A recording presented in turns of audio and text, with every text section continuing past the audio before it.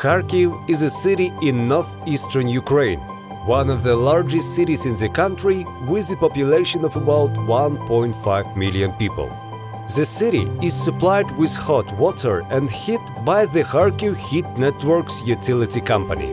The district heating sector in Ukraine, in particular in Kharkiv, is in a difficult technical and financial situation. Therefore, it requires significant investments in energy efficiency and improving the quality of services provided to consumers.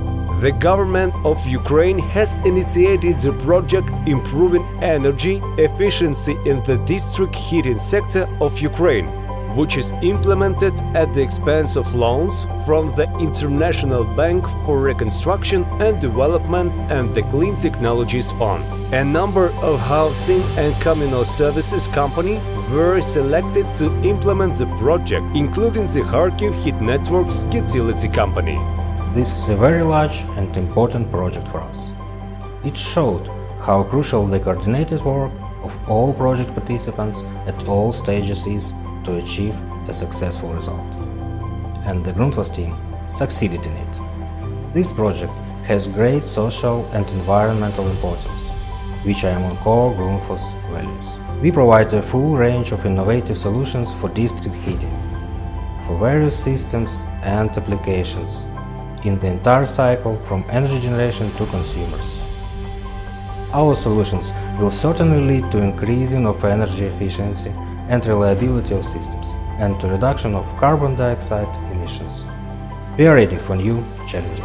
In terms of heat supply, it's one of the most powerful companies in Ukraine, and the city's district heating system is the most extensive. The company operates more than 250 district and local boilers and more than 1.6 thousand kilometers of heating networks.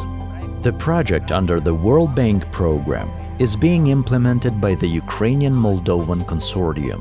To date, we have completed the modernization of three pumping stations of the heat supply system in Kharkiv. We already have replaced eight pumping units, completely re-equipped three 6 kV switch gears, installed five 6 kV frequency converters, and an automated control system. Of course, our solutions are based on successful experience and implementation of similar projects on the best, affordable, most energy efficient, modern equipment of world-famous brands.